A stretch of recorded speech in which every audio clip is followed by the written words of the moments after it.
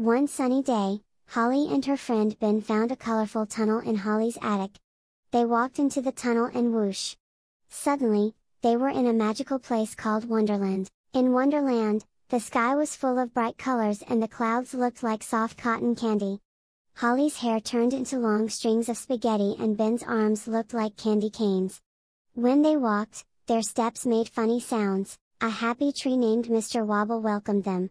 He told them about the silly switch that made everything in Wonderland funny and magical. Holly and Ben met a lagoon that laughed and a fish wearing a hat. They also met the queen of this magical world, a pretty flower named Petalina. She wore a crown made of twinkling stars. The animals in Wonderland were very funny. They saw giraffes with necks like slinkies and kangaroos carrying popcorn in their pouches, but Ben was curious about the silly switch. What if it's turned off? He asked. No one knows, said Mr. Wobble. The switch had always been on. Ben turned off the silly switch, and suddenly, everything changed. Wonderland was quiet. Holly's spaghetti hair and Ben's candy cane arms went back to normal. The magic was gone. They missed the funny and magical Wonderland, so Ben quickly turned the silly switch back on. Zing! Everything became silly again.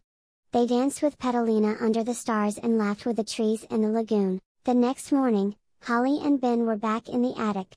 They giggled because the magic of Wonderland was still with them. Every time they laughed, they remembered their silly, magical adventure in Wonderland.